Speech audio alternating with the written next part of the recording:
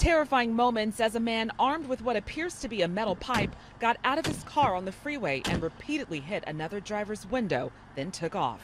He cuts me off, uh, slams the brakes, and uh, starts banging on my car. The victim, who did not want to be identified, said he was driving on the 2 South in Glendale Wednesday morning when he was attacked. He says moments before the road rage incident, he recorded the driver of that Tesla try to hit another car with a pipe, but that driver was able to get out of harm's way.